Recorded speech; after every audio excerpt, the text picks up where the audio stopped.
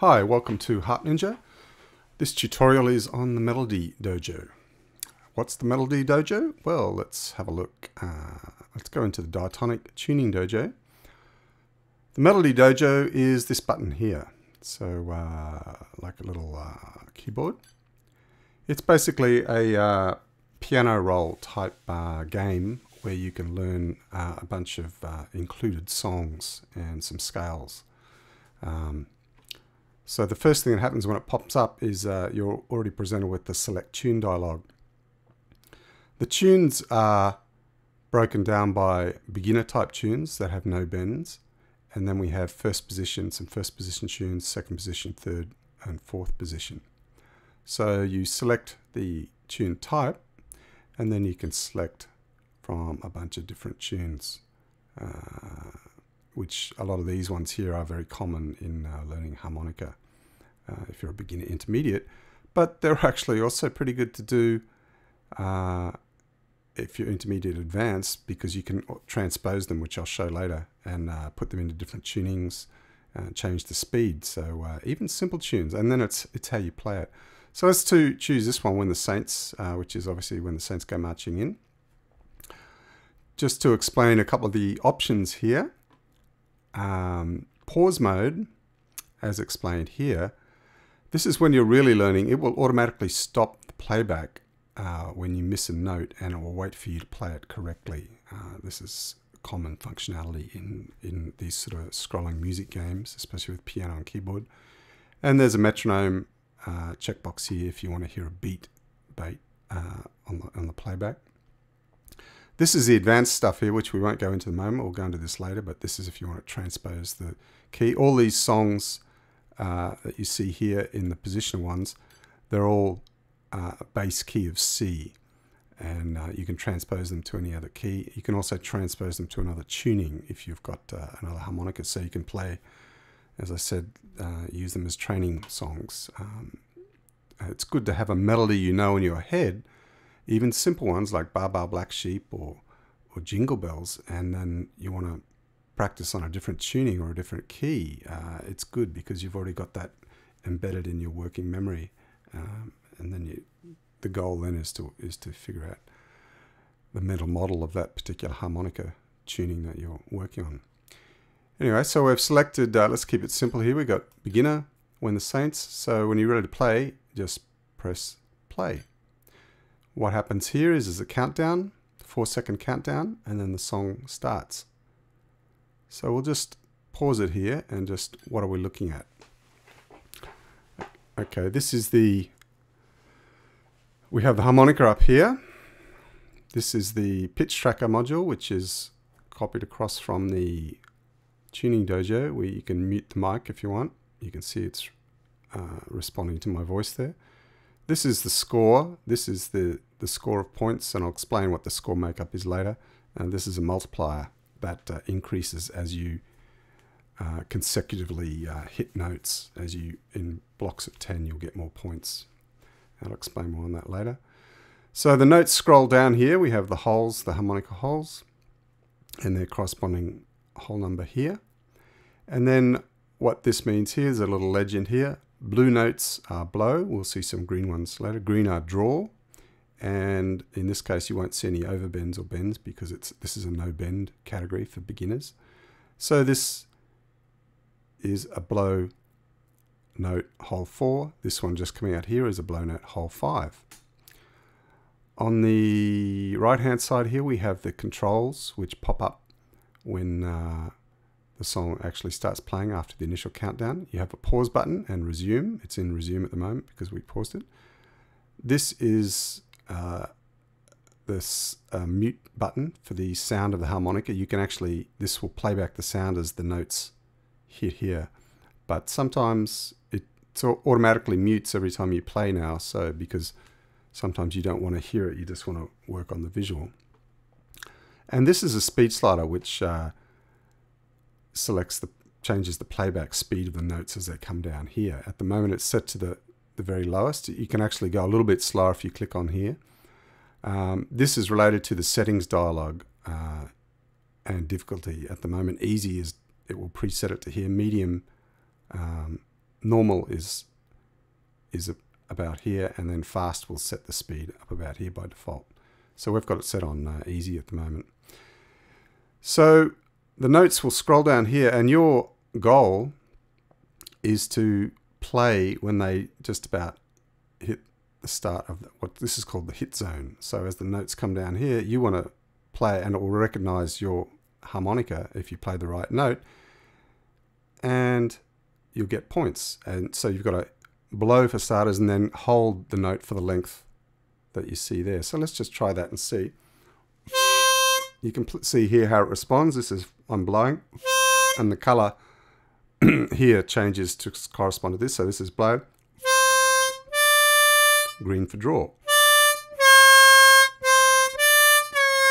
And you'll see it, they move down a little bit depending on the bend.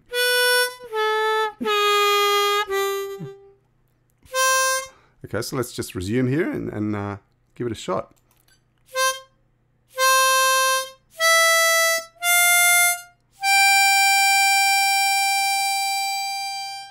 Can go even slower. Let's just change that a little bit.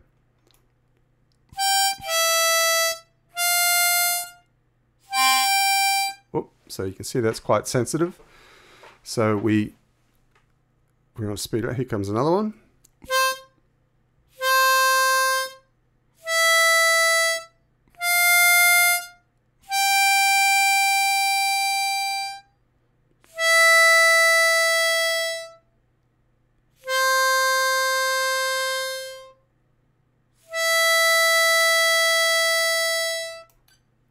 And green obviously is draw.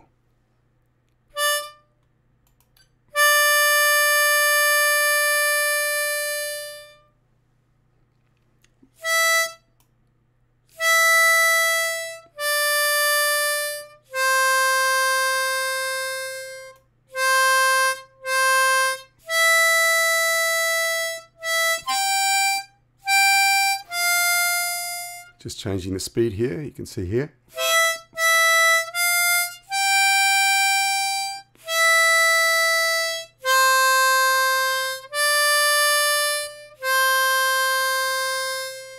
Go a little bit faster.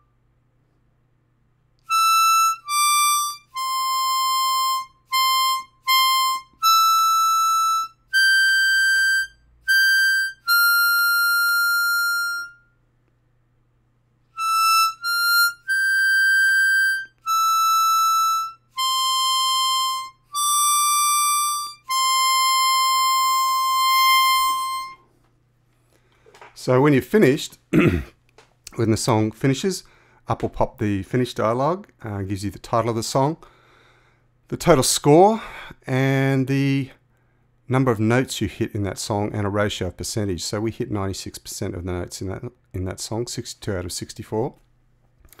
The streak is how many notes you hit consecutively, um, and that's what contributes to the multiplier. So explaining the score here, we get you get 10 points for each note that you hit, uh, and it's multiplied by the streak multiplier, plus 10 times the streak multiplier by the time of the note length. You saw the how long those notes length. So you, the longer you hold the note in as you're supposed to, you'll get more points. If you cut it off too early, then you won't get as many points.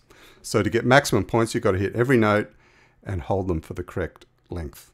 And you'll get maximum streak potential and maximum points. Uh, the streak multiplier ranges from times 1 up to times 10 and it increases every 10 notes you hit consecutively it'll increase by 1, by 2, by 3, by 4. The buttons here, this will repeat the song. Uh, this brings up this brings up the select tune dialog again and this just exits to the screen here, to the main screen. And these buttons here on the bottom left again uh, sort of duplicate these, uh, except this one will bring up the select tune dialog. If we just click that there, You know, see if you just want to practice out, this will pop up the dialogue again.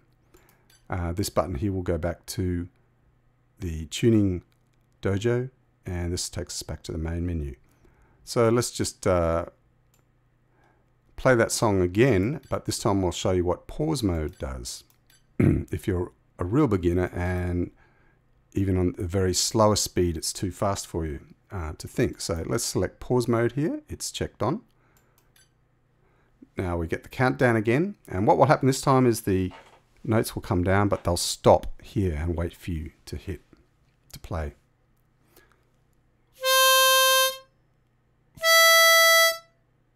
So you can see here the pause button is highlighted.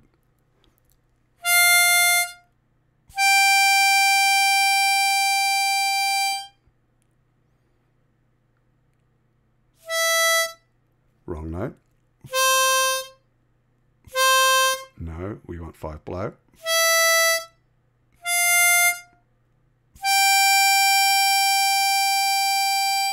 So that's a bit like hunt and peck. It's uh,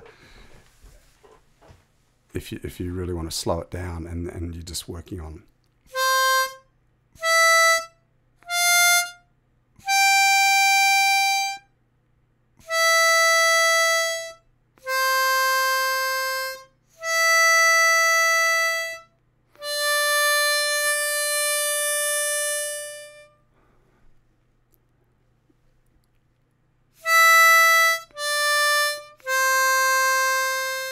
can see pause mode there doesn't engage if I hit the note just before it hits here. If I engage the note with by playing it'll the pause mode won't engage. So it's actually a bit of a safety factor. You can use start with pause mode. As you get used to it uh, you can actually play the whole song through without even it going into pause mode. If you hit the notes just before they they touch the hit zone and go into pause mode and then later you can just not use pause mode at all and just start working with the speed slider